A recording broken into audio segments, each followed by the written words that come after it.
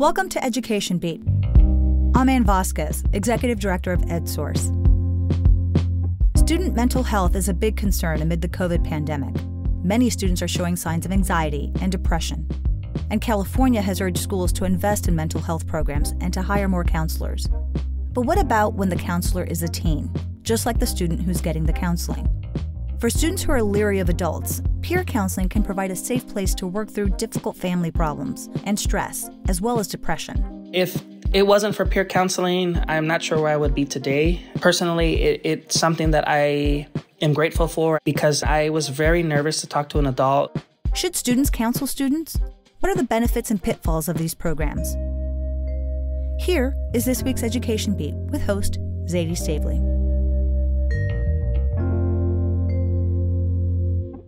When Christopher Gonzalez was a freshman in high school in Fontana, in Southern California, he was struggling with his parents' divorce and what that meant for him. It was rough for me. I just, I didn't know what to do. It was something that was just painful back then. And he didn't know who to talk to. I had friends, but I was kind of like, you know, who who do I go to to speak about these things? Didn't feel comfortable talking to a stranger. You know, uh, we had counselors, but I don't know, just didn't feel comfortable. But then someone at Chris's high school told him about peer counseling. And I said, peer counseling? That's kind of weird. Kind of weird, but intriguing. So Chris reached out, and next thing he knew, he was sitting across from another student in peer counseling. The other student was only a few years older than him, a senior. At first, I was a little shy because I was thinking to myself, okay, well, is this man really going to keep everything confidential? I mean, what what's going to happen? But after the first 10 minutes, it was nice to have someone kind of my age back then just listen, really understand where I was coming from and say, hey, man, like I, I've been there. I was able to kind of speak how I was feeling, what I was thinking going through the divorce, and just having some reassurance again from someone my age, just from almost a firsthand experience saying, you know, you're going to be okay. You're going to get through this. And, you know, there's more to life than just this. You're going to move on to do greater things. It was such a relief to talk to someone about his feelings that right there on the first day, Chris asked the guy, How do I become a peer counselor? And he said, Well, hang on a second. We have a few more, you know, sessions and, and then we'll go from there. In all, Chris met with a student three or four times. He loved it. And the next year, as a sophomore, he applied to be a peer counselor himself. Something opened up inside of me that said, okay, this is something that I want to do. It, it's kind of sparked some motivation in me to say, no, this is something I'm going to overcome, and there's more that I want to give back.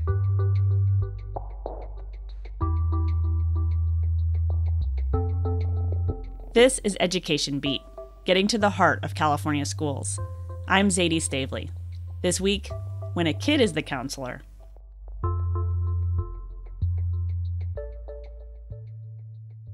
Chris Gonzalez says becoming a peer counselor wasn't as simple as just signing up. First, there was training. Lots of training on how to do active listening, problem solving, how to de escalate tense situations.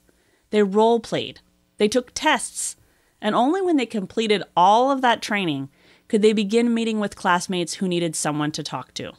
Sometimes we would talk to kids that just school's so overwhelming. They have six classes, you know, they have to go home and help mom and dad. And and I said, listen, I'm right there with you. You know, it's I'm here from, you know, six in the morning, sometimes till six at night, trying to get my work done, you know, being a part of our leadership program and and just knowing that at the end of the day, I'm doing good. I'm I'm really striving to do the best and I know that you can do the best as well.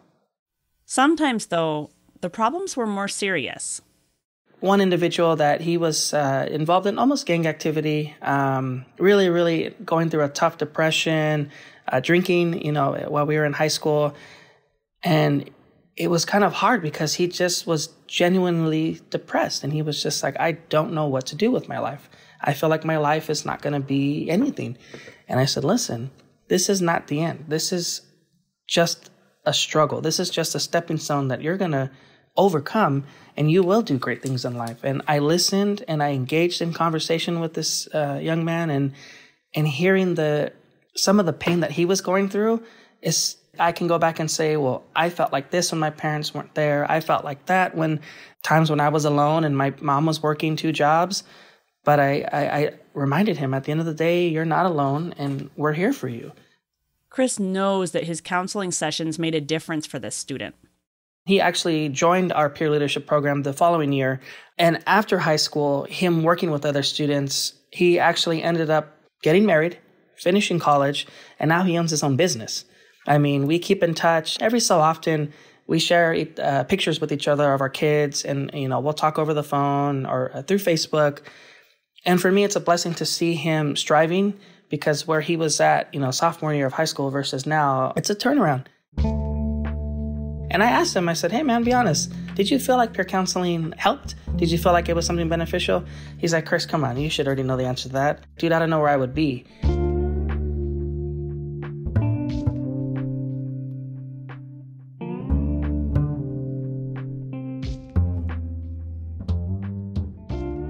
My colleague Carolyn Jones wrote an article for EdSource about peer counseling. Hi, Carolyn. Good morning, Zadie. So, how did you get this idea to write about peer counselors? Well, since um, students started going back to school last fall and last year, you know, there's been this huge push at the state level to enhance mental health programs on campus just because students have just been so hard hit by depression, anxiety, stress things were already not good for students before the pandemic, you know, what with social media and rising poverty and school shootings and all the myriad things that are stressing out students. And then things got so much worse during the pandemic. So, schools and districts and the state have really made this full court press to get more mental health services on campus, hiring more counselors, um, establishing wellness centers, doing little things like teaching kids about meditation and I mean, everything, the whole gamut. And one of those things that hasn't been looked at very closely is peer counseling. Um, there's been a big push to boost up peer counseling programs because they're cheap for starters um, and they benefit a lot of students, not just the kids who are being counseled, but then the kids who serve as counselors. So I thought it was worth, you know, a second look and really taking a, a close look at what this could mean on a school campus. And how common are these programs in California? There's not a lot. There's a few districts that do it really well and have been doing it for decades, you know, since the 80s or even before. Clovis Unified is one of them.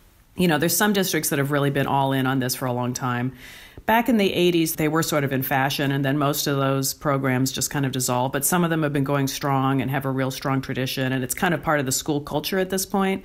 There's a lot of kids who sign up for it, who enjoy it, who use the services. They know what's there, they know what to expect. So, you know, th- these longer term programs tend to be really successful. And what stood out to you when you were reporting this? Was there anything that surprised you? It was really interesting to talk to some of the counselors themselves and find find out how it benefited them. Um, you know, it really taught them communication skills and empathy, and for a lot of them, it opened up um, career doors to you know a career in psychology or counseling or social work. Um, so it wasn't just the students who were being counseled who benefited it; it also was the students who who served as counselors. But then also, you know, there's a lot of real pitfalls with peer counseling. Um, it, it could be a total disaster if not done well. And so it's very, very important that the school has a really strong structure for this. You know, that the, the students are well educated on it, that they take a class, that the teachers know what they're doing, that the counselors, the adult counselors on campus, are in close contact with the students. So it was really interesting to me how complicated it is. It's not just as simple as throwing two students together and say, Here, talk about your problems. So, can you talk a little bit more about the pitfalls because it does seem like it's it's it seems risky in some ways to have teenagers dealing with these things. Oh yeah, particularly I mean for students who are suicidal or self-harming or you know have really serious problems with substance abuse. I mean, if some if that student confides in a peer counselor, and then something bad happens like that student does commit suicide or or get even further involved in substance abuse. I mean that peer counselor that's something that's very hard to shake. And so and it's a liability too. I mean for the school like oh you have this kid with these serious problems and you sent a 15 year old to go help them. So and also you know there's issues of confidentiality. I mean these peer counselors are trained you know confidentiality is paramount. And so how do you report that to an adult? If you think a student is in trouble, how do you report it to an adult without violating that sense of confidentiality and knowing when to cross that line? It's hard. It's really hard. And that's why it's so important to have a really good program. I mean, I didn't hear many horror stories. I think most of the time kids go to peer counseling for sort of more garden variety, like problems with friends, or I'm having trouble getting studying. I, you know, I need study skills, or I feel left out, or, um, you know, my parents are bugging me. I mean, it's more ideally that's the perfect place where peer counseling lives. um, and then the peer counselor, you know, they don't really give advice. They just kind of listen. There's someone to listen to, and um, they might, you know, prompt the student a little bit. You know, well, what do you think are some solutions here? And you know, it's sort of like counseling light, but for a lot of students, that fits the bill. But yes, I mean, no, you're absolutely right, Zadie. I mean, if if not done well, and if these students aren't trained well, it could be it could be yeah, just a disaster for everybody. But so the counselors that you spoke with, you know, the adult counselors that you spoke with who have worked in these programs as advisors and that kind of thing, um, it, it they they were pretty frank about those pitfalls, but at the same time, they still see benefits. Oh yeah, absolutely. I mean, one counselor I talked to said her ratio is, you know, one counselor to hundreds of students. She says she just doesn't have time to talk to every single student who needs help. And so she really relies on these peer counselors to just connect, you know, connect with students um, in, a, in a personal, confidential way. And then if something serious does come up, she trusts the peer counselors to report it to her. You know, substance abuse is another big one is a big problem you know and some students have real problems with that and these peer counselors are not mandated reporters you know, if a, if a student's in an abusive relationship or something, that's why it's so important that they know when to report stuff to to trained adults who can really intervene. Clovis Unified, near Fresno, has had a peer counseling program since the 1980s. Baylee McPherson became a peer counselor in seventh grade. Now she's a freshman at Clovis West High School. She says she sometimes has had peers share very serious issues, like drug abuse, or that they're hurting themselves, but she's trained on what to do. A lot of times I will say, like, thank you for sharing that with me. I know that that was really hard to admit. Validating their feelings is like the first thing I go to. Um, and then I'll say, like, tell me more. Like, what triggers this? Why, why did you start? When did you start? And then after the session, I would inform my advisor that they're self harming. That step is crucial because adults in schools are required to report when children are harming themselves or someone else or when someone else is hurting them.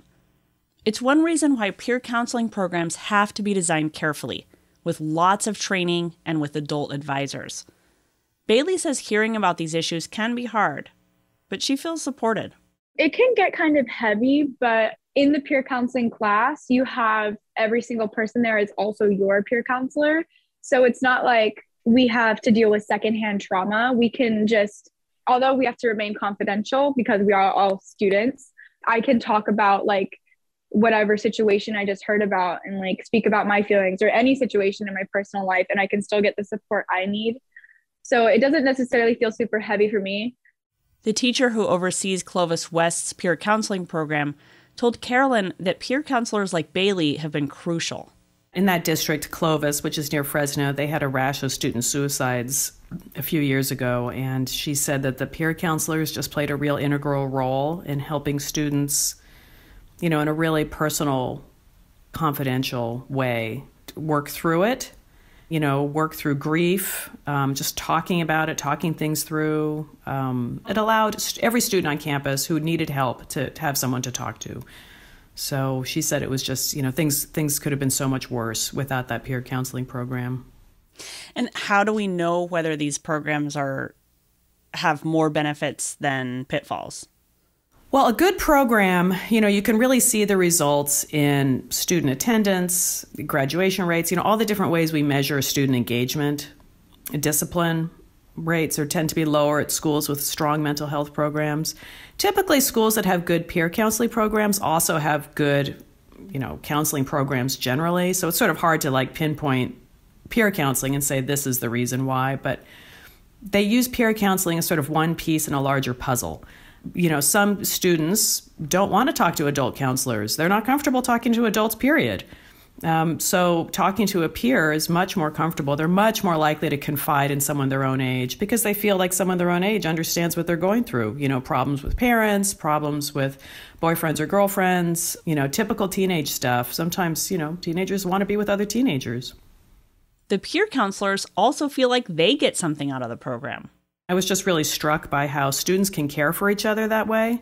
You know, I know that the, at Clovis, the teacher who organizes the whole thing, says she really makes a point to, to bring in students from all different, you know, sides of campus the jocks, the cheerleaders, the nerds, you know, everybody, the unpopular kids, everybody. She tries to bring everyone together, and it kind of helps bridge a lot of divides on campus. And I was just really struck at how successful that was and how, you know, if you give kids a chance, they can really, um, you know, reach out to each other and help each other.